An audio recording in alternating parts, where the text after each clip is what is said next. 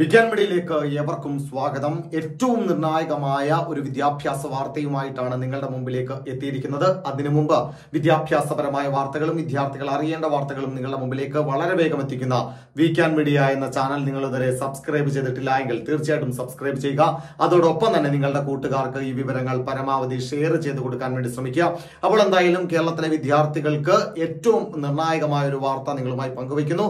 കേരളത്തിൽ നാളെ സംസ്ഥാന വ്യാപകമായി വിദ്യാഭ്യാസ ബന്ദിന് K S U Kerala student union ആഹ്വാനം ചെയ്തിരിക്കുന്നു എന്നുള്ള ഏറ്റവും നിർണായകമായ വാർത്തയാണ് വിദ്യാഭ്യാസ മേഖലയിൽ നിന്ന് പുറത്തു വരുന്നത്.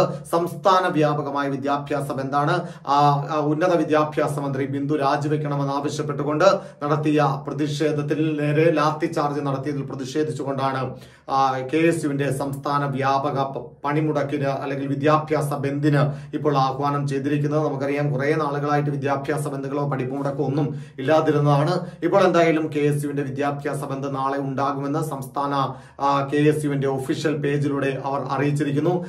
കേരള കേരളവർമ്മ കോളേജിലെ തെരഞ്ഞെടുപ്പുമായി ബന്ധപ്പെട്ട് വലിയ ആരോപണങ്ങൾ വലിയ ആക്ഷേപങ്ങൾ അതോടൊപ്പം തന്നെ ഉന്നത വിദ്യാഭ്യാസ മന്ത്രിയുടെ കണ്ണട വാങ്ങിയതുമായി ബന്ധപ്പെട്ടുള്ള വിവാദങ്ങൾ ഇതെല്ലാം അധികരിച്ചുകൊണ്ട് അല്ലെങ്കിൽ ഇതിനെല്ലാം ഇതിനെതിരായിട്ടുള്ള ഒരു പ്രതിഷേധം എന്ന നിലയിലാണ് ഇന്ന് കെ എസ് യു പ്രതിഷേധ പ്രകടനം നടത്തിയത്. അതിനു നേരെ പോലീസ് ലാത്തി വീശുകയും ലാത്തി ചാർജിൽ നിരവധി കെ എസ് യു പ്രവർത്തകർക്ക് പരിക്കേൽക്കുകയും ചെയ്തിരുന്നു. എന്തായാലും അതിൽ പ്രതിഷേധിച്ചുകൊണ്ട് സംസ്ഥാന വ്യാപകമായി കെ എസ് യു നാളെ വിദ്യാഭ്യാസ ബന്ദിന് ആഹ്വാനം ചെയ്തിരിക്കുന്നു എന്നുള്ള ഏറ്റവും നിർണായകമായ വാർത്തയാണ് നിങ്ങളുമായി പങ്കുവയ്ക്കുവാനുള്ളത്. പഠിപ്പുമുടക്കല്ല വിദ്യാഭ്യാസ ബന്ദ് എന്നാകുമ്പോൾ തീർച്ചയായിട്ടും വിദ്യാഭ്യാസ മേഖല പരിപൂർണമായും അടഞ്ഞു കിടക്കാൻ തന്നെയാണ് സാധ്യത. മറ്റു വാർത്തകളും വിശേഷങ്ങളും ഒക്കെയായി നിങ്ങളുടെ മുമ്പിലേക്ക് എത്താം.